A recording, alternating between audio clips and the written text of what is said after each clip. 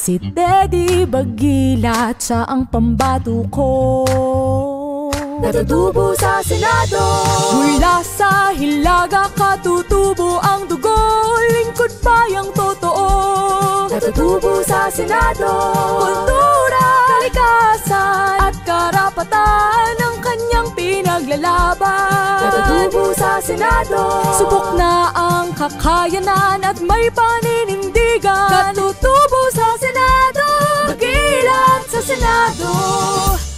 Bagilat sa Senado sa 2022